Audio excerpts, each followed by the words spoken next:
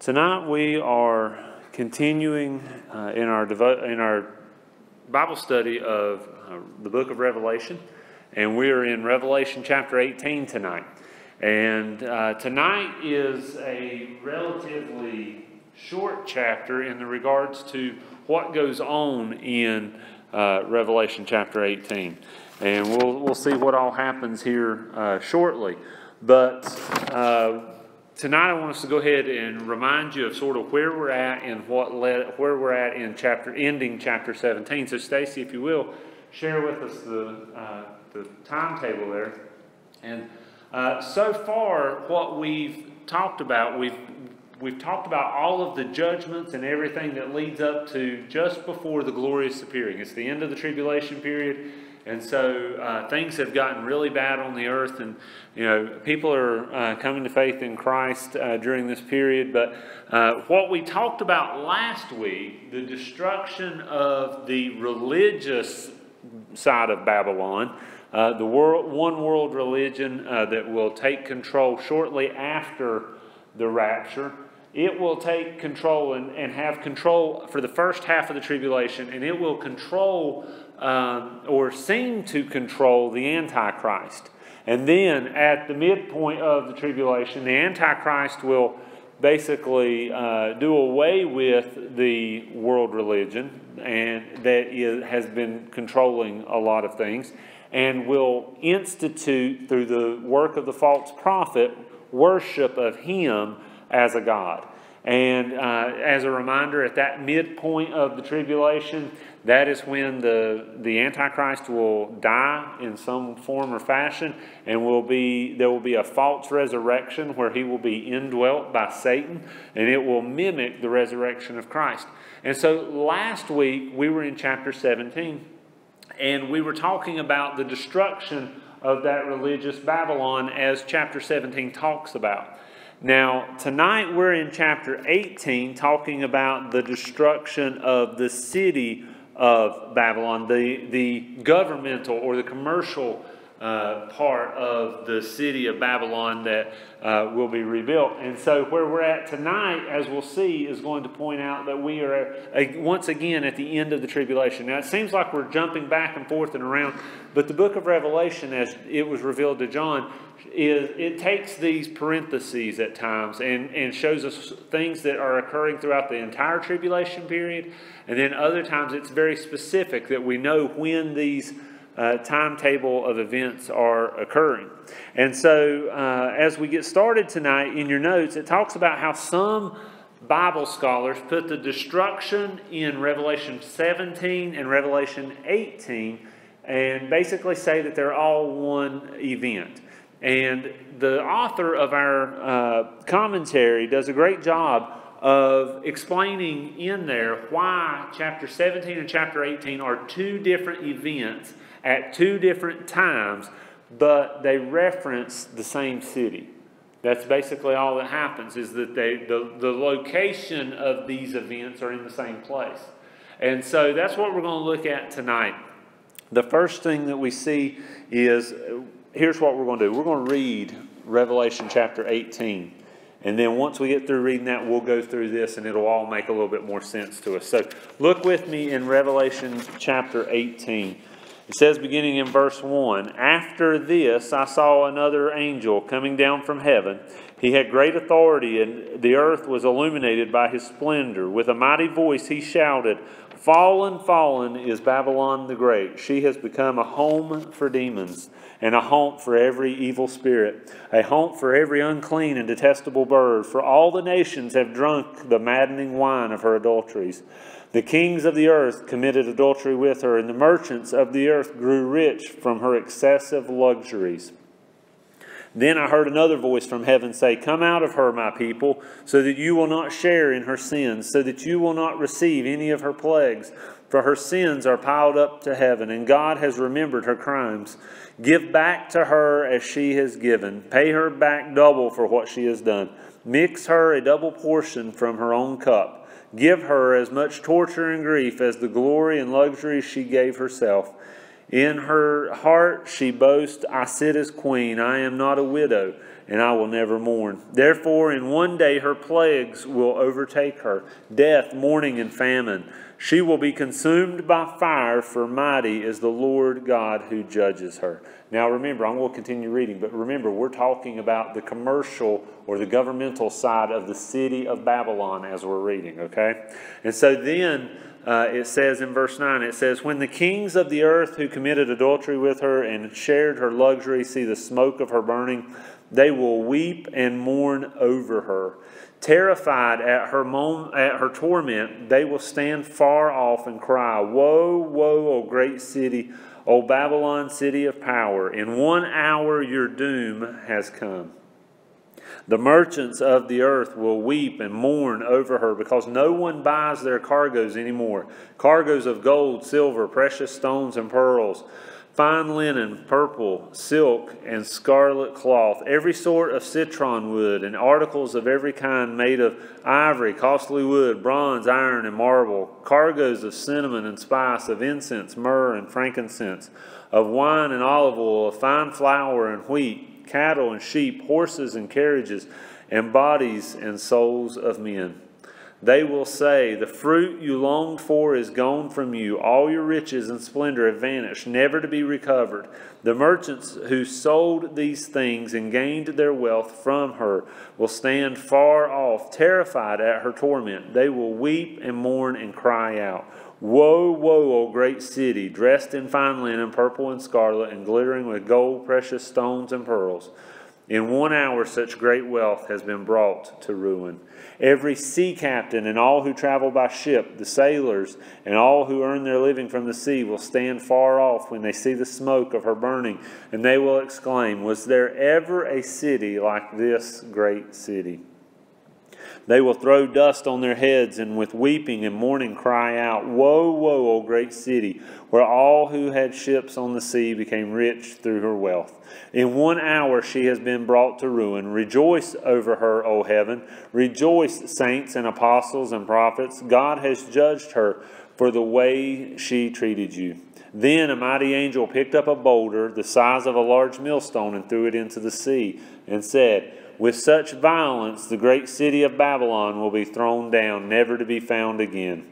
The music of harpists and musicians, flute players and trumpeters will never be heard in you again. No workman of any trade will ever be found in you again. The sound of a millstone will never be heard in you again. The light of a lamp will never shine in you again. The voice of bridegroom and bride will never be heard in you again. Your merchants were the world's great men by your magic spell, all the nations were led astray. In her was found the blood of prophets and of the saints and of all who have been killed on the earth. Now, that is a very long and very descriptive set of verses that share with us the destruction of the city of Babylon during this time. And if you notice that it really it takes on uh, this uh, this repetitive notion. It talks about how um, how the city is brought to ruin, but then it talks about how uh, the kings of the earth how they uh, wept and mourned over the destruction. Then there is the merchants, those who uh, were businessmen, and, and how they wept over the and mourned over the death or the destruction of the city of Babylon. Then the sea captains who, again, were weeping and mourning over it. And then there is this angel that uh, tosses a millstone into the sea, and we'll talk about all of that in just a moment. But as we see back in chapter 17, there was destruction of the woman sitting on the back of the beast, and that was representative of the religious, the religion that will take hold after the after the rapture. But in chapter 18, as we go through the next six things that we see in this set of scripture, it'll point out very quickly to us that these two, 17 and 18, point to two very different things. The first thing is this in verse 1, John says, after this. Okay, we could stop right there. That's the very first thing. He says, after this, meaning after the events of chapter 17, this happens. So after the destruction of the religious side of Babylon, comes the destruction of the city. And this tells us that these events in chapter 18 don't take place until after the events of chapter 17 are fulfilled. And so that's what we see as uh, the first thing in your notes there is that, um, that chapter 17 has to be fulfilled, and then chapter 18 will occur. Uh, John is very clear about that. He says, after this. I mean, there's, there's no way to expound on that. There's no way to uh, expand on that, but that's basically what he's saying there is that, you know, once 18 is, or 17 is done, chapter 18 happens. And so it, it, to him, he's seeing this all in, in sequence. Uh, not only that, but in verse 1, he also says, I saw another angel coming down from heaven. And so, obviously, the angel mentioned in chapter 17 is a different angel than the angel mentioned in chapter 18. And so, these are two different angels, uh, and the event, you know, they're not the same one uh, who introduced the different events. Uh, you know, the one in chapter 17 was one of the seven who was given one of the bowl judgments. And so this one is an altogether different angel whose uh, majesty or glory, I guess you would say, illuminates the whole earth. Uh, but what we also see in this is that the names in the two chapters are different.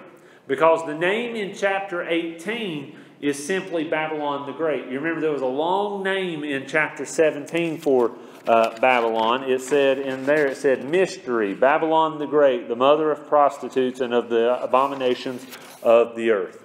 And so that was this big long name. And here in chapter 18, in chapter 18, it's just simply Babylon the Great.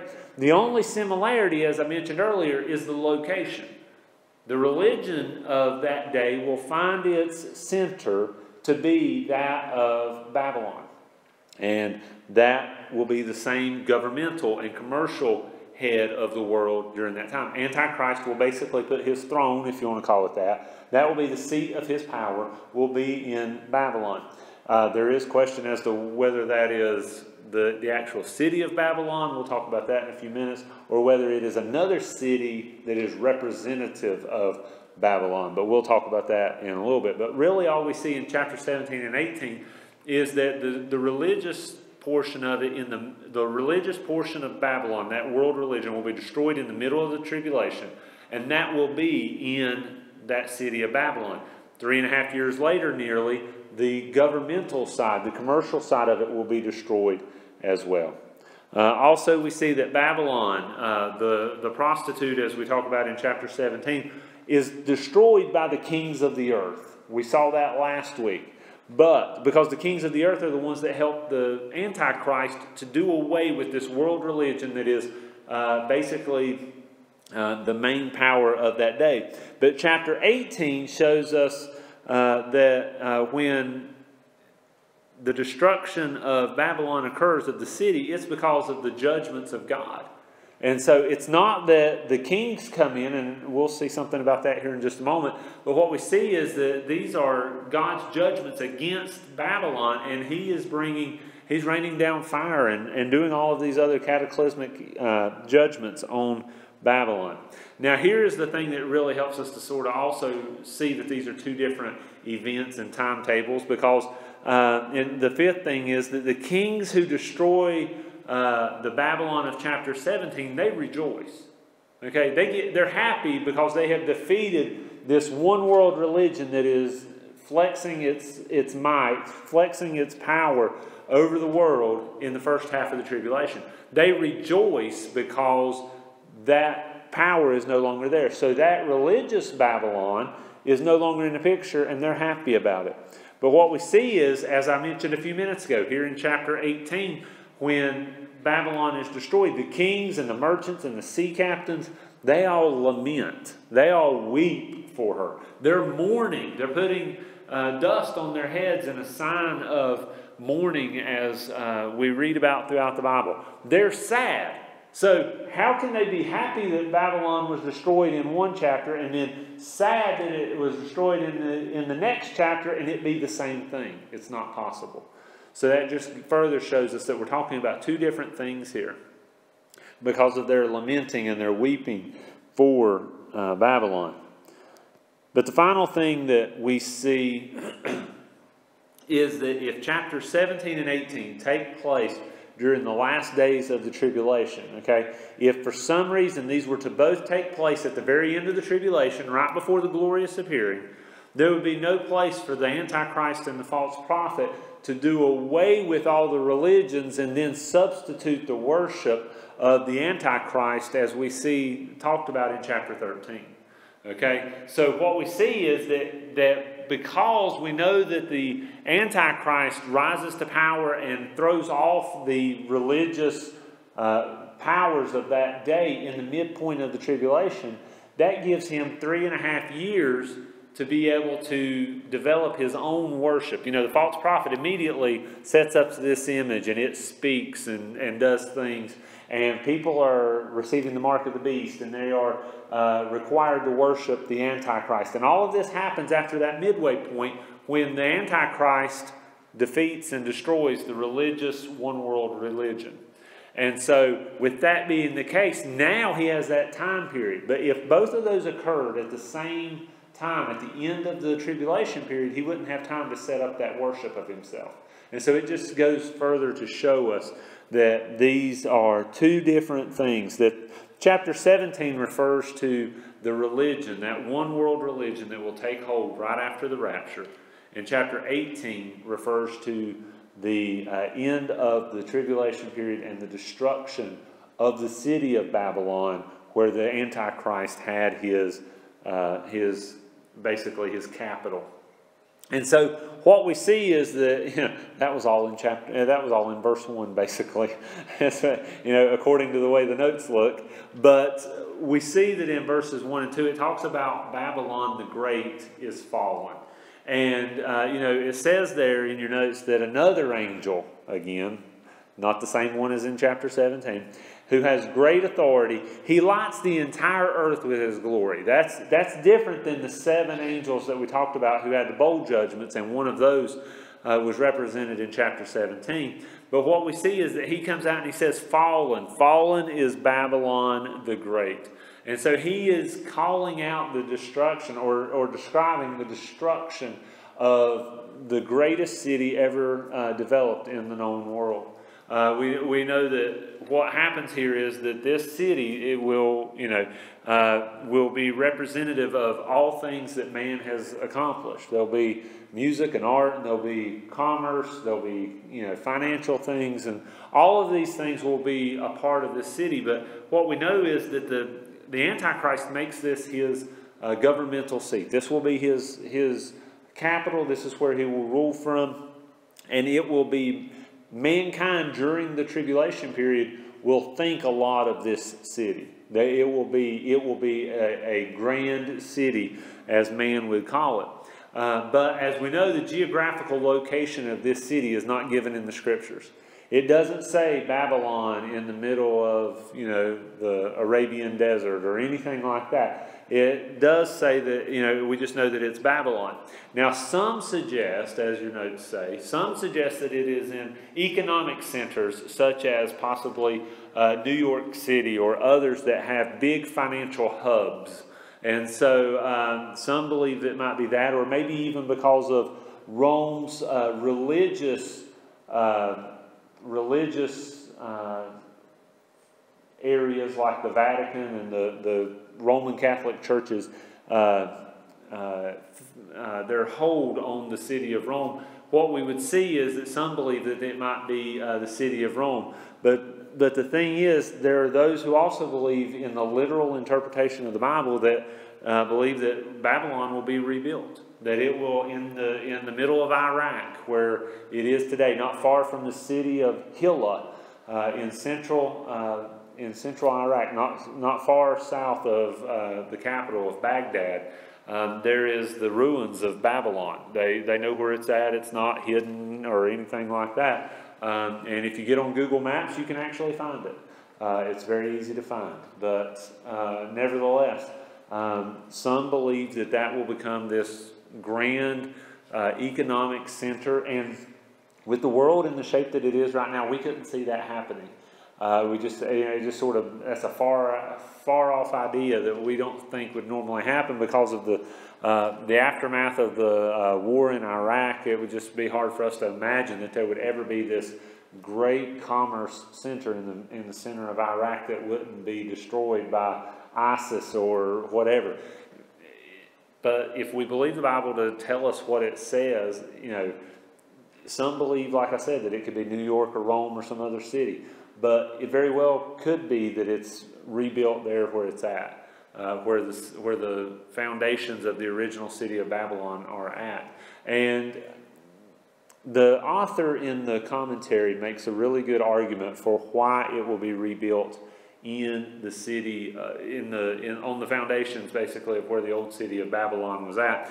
And what he references, and the more I have thought about it this week, the more I, I tend to believe or, or agree with him in the fact that it would be the city of the former Babylon. And the reason for that is this Isaiah 13 and 14 and Jeremiah 50 and 51 have prophecies about Babylon that have not yet been fulfilled. Okay? And so if those have not been fulfilled, then what that means is that they they are yet to be accomplished and that God will fulfill those. And those um, those prophecies have to do with, uh, among other things, that there will be no inhabitants, no new inhabitants in the city of Babylon after its destruction, as we understand it in chapter 18. Well, people for the last you know, a couple thousand years have been inhabiting that area. There are people that live basically in that you know village of Babylon, that area of Babylon right now. And so that, that prophecy has not been fulfilled. Another one is that no stone will be reused from the city of Babylon. And that's one of the things that is talked about in, in, uh, in either Isaiah or in Jeremiah. But the, the stones from the old city of Babylon have been used to build uh, cities throughout the Middle East uh, in ancient history. There's recordings of that. And so that's not been fulfilled. And the other is that there will be a sudden destruction. It will come really quickly, and Babylon will be basically wiped off the face of the earth. The, when Babylon, where Nebuchadnezzar was at, where, uh, where uh, Daniel was at, and where we read about the captives being taken, all of that, Ezra and all of those, when we read about those, the destruction of, of Babylon was a slow and gradual decline. It wasn't sudden and then all of a sudden you know, the city was wiped off the map. It was slowly faded into obscurity and then would eventually it rebounded and was even, uh, you know, a, a relatively good sized town at one point. But nevertheless, those prophecies have not been fulfilled yet. So it makes sense to us that the only opportunity for there to be no inhabitants, for the stones of the city to never be reused, and for it to be a sudden destruction would be what is described in Revelation chapter 18. And so that makes us imagine that, that this rebuilding project will occur in what is the middle of Iraq. So that makes it even uh, more interesting uh, for us to study this. But nevertheless, we know that there is this coming destruction of Babylon. Now, whether it is rebuilt physically there in the middle of Iraq, or whether it is rebuilt symbolically, as your notes say there, uh, this great city of Babylon will be the it'll be the governmental, the religious and commercial centers of the whole world at that time. It will be the it will be the city where people will want to go because if they're religious, they're going to want to go there to worship. If they are greedy, or if they are in business, or if they are looking to make money in some form or fashion, they're going to go there because it will be the commercial center of the world. And so, if they are looking for a governmental position in this new one world uh, government that the Antichrist sets up, well, they've got to go to where the capital is, and that will be Babylon. And so they will, there will be people looking to come to that. But as we read in chapter 18, you know, it, it's, it's very repetitive when it talks about uh, the kings, the merchants, and the sailors uh, or the sea captains. They're going to stand off and as this city is destroyed, and they're going to be weeping. They're going to be sad. They're going to be uh, distraught over it because what they see is that when this happens, their main concern is not for the inhabitants of the city. They're going to be concerned because they're no longer going to be able to make money. That's what they're worried about. They're worried about their, their financial investments. They're worried about their, their money. They're going to be worried about all of those things because in that city, they will be able to, as your notes sort of reference, they'll be able to uh, have this gratification of the flesh in every form and fashion. You know, they'll, they'll have the money, they'll have all of the other things that uh, anything that they could ever want, they will have available to them in Babylon. And now all of a sudden that's gone. And with that being gone, they're going to be sad. Because, you know, yes, they're going to have lost their financial standing and all of their commercial businesses and things like that. But here is the catch they've got a matter of days, months at best between the destruction of Babylon and the return of Christ. Because we don't have the timeline told. We're, we're not told that. But they have just, you know, maybe days or weeks, maybe a month or two. We don't, we don't know. But there is a very short period of time uh, between the destruction of Babylon and then the glorious appearing, the return of Christ, and the start of the millennial uh, reign. And we'll, we'll look at all that in the coming weeks. But there, all of that will happen. They're not going to have the opportunity to rebuild Babylon. They're not going to have the opportunity to mourn this great wealth that they've lost very long because that city will be destroyed, and before long, many of them will be destroyed as well, uh, as, uh, as we'll read in the coming weeks. But what we see is that um, this angel, as is, uh, it says in verse 21, it says, Then a mighty angel picked up a boulder the size of a large millstone and threw it into the sea, and then gave this. Uh, this, these comments that we read in the rest of those verses. And basically, what we see here is that this angel is throwing down this great millstone, this great boulder, as it says.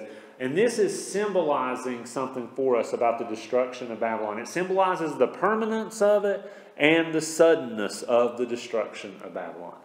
So, this, uh, this millstone or this big boulder being cast into the sea is representative, it is a symbol, it is a sign of what is to happen with the, um, with the city of Babylon.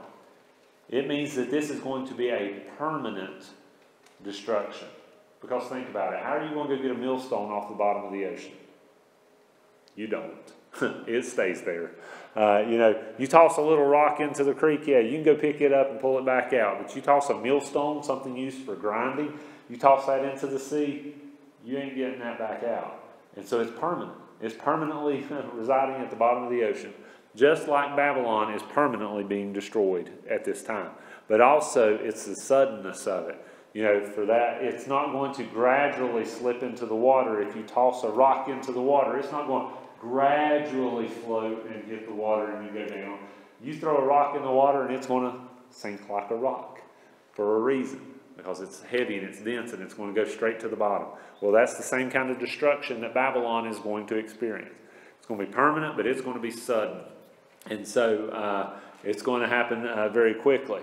And, uh, you know, we, we have already read how this uh, will be by earthquakes and thunder and lightning, plagues, uh, death, uh, mourning, and famine, and all of this. And it says in verse 18 that she will be consumed, talking about the city of Babylon, she will be consumed by fire.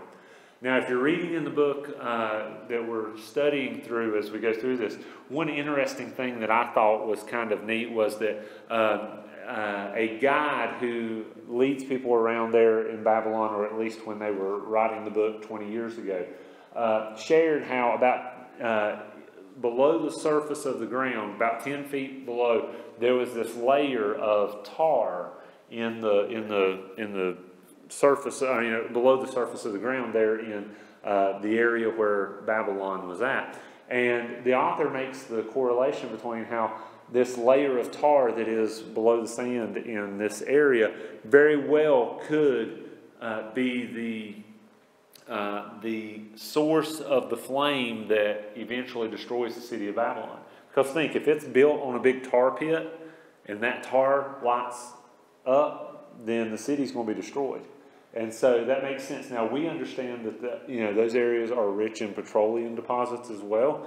I mean, you know, we, we saw how Saddam Hussein would light uh, uh, oil wells on fire, even during the uh, Desert Storm, and even uh, later uh, in the war with uh, war for uh, Iraq, we see that um, those sort of things would happen. So it's not unheard of for those sort of things to happen in that area. And so this very well could be the, the way that it is destroyed by fire. We just, you know, we don't know. Um, but, you know, your notes mention there about how the light of life is destroyed. And basically, the darkness, as it says there, with which Babylon will be permanently or perpetually shrouded, is a testimony to the lifelessness uh, for eternity. And basically saying that, you know, for the rest of eternity, there will never, you know, Babylon's not going to be rebuilt. After it is rebuilt and then destroyed, it's never coming back. Uh, Babylon has been a thorn in the side of God, if you want to, in his plan for mankind since it was founded by Nimrod shortly after the, after the uh, flood. Uh, you know, it's kind of interesting. The devotional that me and the boys have been going through. Uh, we talked recently. We just talked this past week about uh, the Tower of Babel and how uh, right after the uh, after the flood, Nimrod founded cities and one thing and another. And one of the cities that he founded was Babylon. Even though it wasn't called Babylon then, it was called Babel and one thing and another. But uh, you know, the boys, I said, "What do you?" I said, "To us, Nimrod is a is a is a sort of a derogatory name. You know, it's a name where you." I said, "What what is a person that's a Nimrod?" And they said, "Somebody stupid." You know, something like that. You know, one of them said something like that. And I said, "Well," I said, "Yeah." I said, "That's basically it." I said, "We think of a Nimrod. We don't think of someone who is wise and intelligent in that regard. But you know, Nim, Nimrod, as we read in the scriptures." from the worldly perspective, he was very intelligent because he, he, he helped to start cities to begin with. But that, that shoehorned man into a particular place where they weren't able to fulfill God's design for their life, as we read about later in the scriptures, or earlier in the scriptures, technically. But what we see is that this, you know, even from thousands of years ago when Nimrod founded the city of Babylon, uh, it has continued to cause problems for God. I mean, because uh, Nebuchadnezzar was there and he took the Jews into uh, captivity, even though that was part of God's plan. Uh, it's been uh, it's been a challenging place, but after its destruction, in what we read to be Revelation 18, it's done. It, it's not coming back. Uh, you know, one thing that you see there in your notes, it says, just as God chose Jerusalem as his headquarters to win the souls of people, Satan chose Babylon as his capital to destroy them. And that's really what's happened, is that God has placed his anointing, he has placed his presence at different at, at one time in Jerusalem, and that was to be the, the center of uh, of the nation of Israel. It was to be the, it ended up being the place where his son was crucified. And because of Jerusalem being Jerusalem, we have a place there where we know that Christ was uh, crucified and our faith was started because of the death of Christ there. But we also know that Satan, just like God, because Satan imitates and mimics God on so many levels, we know that Satan uh, wanted a capital city as well, if you want to call it that, and Babylon was his capital city. You know, now the author makes a good argument for how um, how the uh, how Satan moved it once Babylon was no longer influential like it had been. Uh, the the literal city of Babylon. He you know says that Satan moved his uh, his capital to Pergamum, which is referenced at the beginning of uh, of Revelation as being the place where Satan has his throne. And uh, then uh, mentions how, uh, how Bab- the, the idea of this Babylon was moved to Rome. And he, he talks about it in the book. It's, it's, you know, it's interesting to read, and I'd encourage you to do that if you haven't. But what we see is that this capital that uh, Satan has used, he's used it to destroy lives since it was founded by Nimrod all those years ago. And God uses Jerusalem to do the exact opposite. He uses it as he used it as a place where Christ would be crucified and we would receive eternal life. The final thing that we see, though, in this chapter is uh, in verses 4 and 5. Now, we didn't talk about this earlier as we were going through, but in verses 4 and 5, we read about God's merciful call to his people. And what we see here is that in verse 4, we see that there are these people that are referred to as my people. God says, you know, these are my people. And he says, uh, he says, come out of her, my people, so that you will not share in her sins, so that you will not receive any of her plagues. For her sins that are piled up to heaven, and God has remembered her crimes. And so basically what happens is Jesus, or God makes this this call to those that are in Babylon that are his people. Now, uh, the question is, who are these people? One is they could be tribulation saints, those that have come to faith in Christ during the tribulation. After the rapture, they weren't Christians before the rapture. The rapture happens, and they could be tribulation saints, those that become Christians during the tribulation. The second thing is they could be uh, Israelites who have not repented and started to follow Christ. Uh, who I'm sorry, yeah, who have not repented and followed Christ. So they may be Israelites who have still yet to become Christian. And so uh, we're not exactly sure who these my people are, but what we see is that uh, he's wanting them to come out of Babylon so that they don't get wrapped up in their sins in the sins of Babylon, but he also wants them to do that so that they don't receive part of the judgment of Babylon. It's sort of the same, you know, the, the author of the commentary makes the, the uh, same comment or the, the idea that some of us are probably thinking of. Is sort of an it's sort of a reference to Lot and his family and the city of, cities of Sodom and Gomorrah. You know, Sodom and Gomorrah are destroyed uh, during you know by God, and God was merciful and gave Lot and his family the option of being able to leave.